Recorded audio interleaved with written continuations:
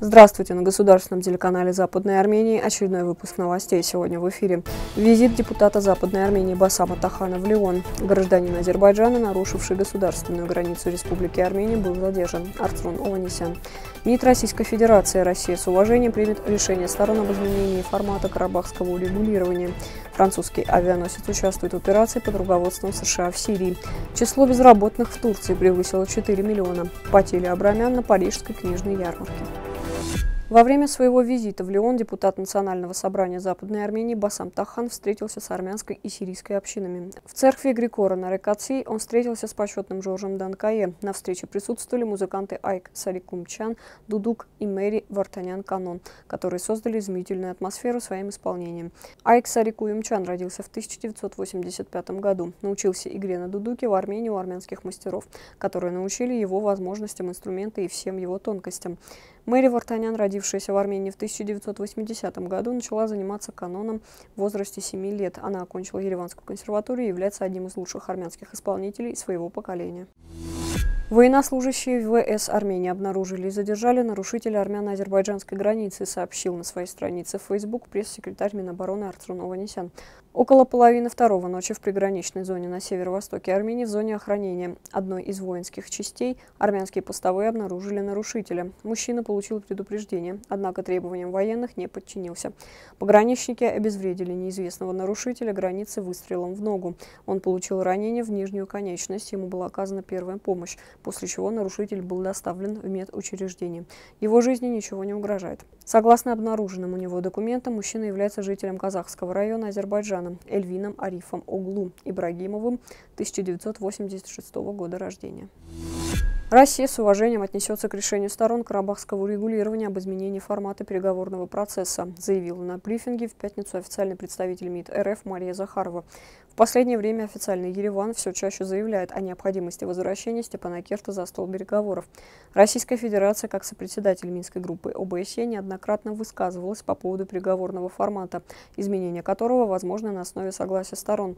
Если они на каком-то этапе договорятся, то Нагорный Карабах будет вновь представлен на переговорах. Это будет именно решением сторон, и мы будем его уважать, отметила Захарова. Франция Эммануила Макрона сделала свой выбор. Шарль де Голь присоединился к ВМС США в Восточном Средиземноморье. 15 марта посол по Сирии Джеймс Джеффри отказался представить график вывода войск США из Сирии. Он добавил, что война против ИГИЛ продолжается. США объявили, что хотят разместить в Ираке только 400 боевиков, а остальные работы должны сделать силы Франции и Великобритании. Под предлогом защиты сирийских курдов Франция останется в Сирии с ее незаконными военными базами. Французский флот уже участвовал в военных операциях операциях против сирийских целей. Проамериканская коалиция пытается спасти своих агентов и устранить все следы сотрудничества с террористами, особенно на севере Сирии. Военно-морские силы Франции решили принять участие в новой американской операции. С этой целью французский авианосец 13 марта приблизился к прибрежью Сирии с сопровождающими его кораблями. Об этом 13 марта заявило Центральное командование США Центком. Президент Франции Эммануэль Макрон заявил, что Франция, как и США, покинет Сирию после полного уничтожения исламского государства. Он также подчеркнул, что Париж должен регулировать ситуацию в этом районе чтобы помочь сирийцам установить стабильность в своей стране и предотвратить негативное влияние других террористических групп в будущем. В 2018 году ливанский телеканал «Аль-Маннар» объявил, что американские военные создали новую базу в сирийской провинции Хасака, а Франция отправила военные колонны на эту базу. Коалиция США проводит военные операции против террористической группировки исламского государства в Сирии и Ираке с сентября 2014 года. Действия коалиции не санкционированы сирийским правительством или же Советом Советом Безопасности ООН. Статистическая служба Турции публикует данные по безработице и занятости. Уровень безработицы в Турции вырос в 2018 году по сравнению с 2017. В частности, в 2018 году по сравнению с декабрем 2017 года уровень безработицы вырос на 13,5%. 4 миллиона 302 тысячи человек, передает Эрмени Хабер.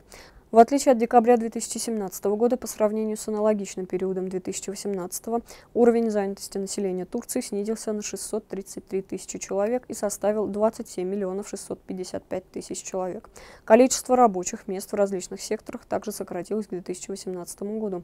В частности, если в 2017 году в сельскохозяйственном секторе было 375 тысяч работников, то в 2018 году число работников достигло 258 тысяч.